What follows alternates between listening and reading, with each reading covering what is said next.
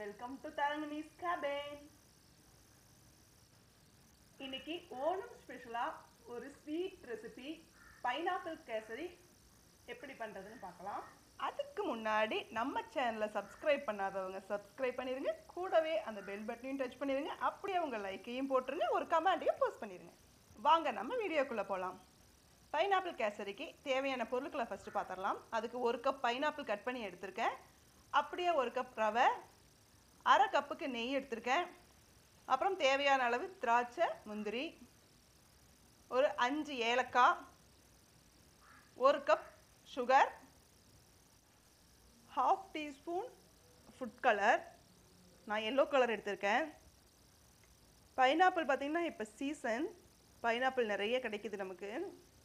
Seasonal ஃப்ரூட்ஸில் taste அதிகமாக இருக்கும். இன்றைக்கி நம்ம பைனாப்பிள் கேசரி எப்படி செய்கிறதுன்னு பார்க்கலாம். அதுக்கு முதல்ல ஸ்டவ் பற்ற வச்சு ஒரு கடாயை வச்சுக்கலாம்.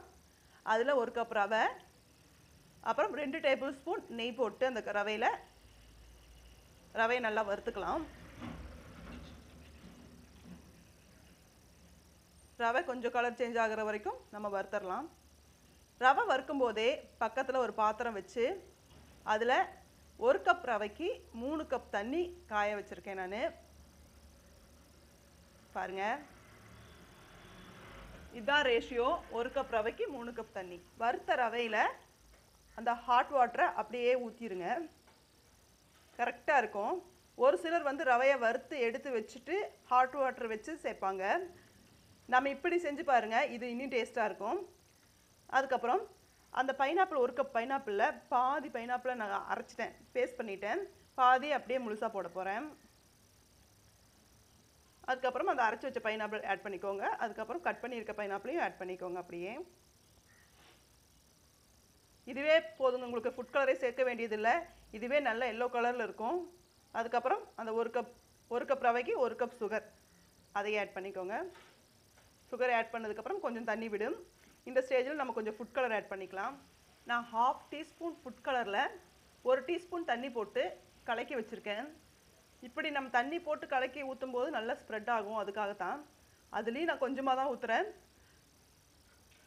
அவ்வளோ ஃபுட் கலர் வேண்டாம். ஃபுட் கலர் வந்து ஹெல்த்தி இல்லை. அதனால நாங்கள் ஃபுட் கலர் வந்து அதிகமாக சேர்த்திக்கிறது இல்லை அடுத்ததாக குக்கிங் ஆயில் சேர்த்திக்கலாம். நான் சன்ஃப்ளவர் ஆயில் தான் எடுத்திருக்கேன். அதை டைரெக்டாக சேர்த்திக்கிறத விட இப்படி கொஞ்சம் சூடு பண்ணி சேர்த்தும் போது நல்லாயிருக்கும் டேஸ்ட்டு கொஞ்சம் சூடு பண்ணி அதில் அப்படியே ஆட் பண்ணிக்கலாம். நான் ரெண்டு டேபிள் ஸ்பூன் குக்கிங் ஆயில் எடுத்திருக்கேன். அடுத்து ஆயில் சேர்த்து நல்லா கலக்கி விட்டுறலாம். அதுக்கு அடுத்ததாக நம்ம அஞ்சு ஏலக்காய் எடுத்திருந்தோம். அதை பொடி பண்ணி கொஞ்சம் சுகர் போட்டு நான் பொடி பண்ணி வச்சுருக்கேன். அதை ஆட் பண்ணிக்கிறேன். நல்லா திரண்டு வந்திருக்கு பாருங்கள்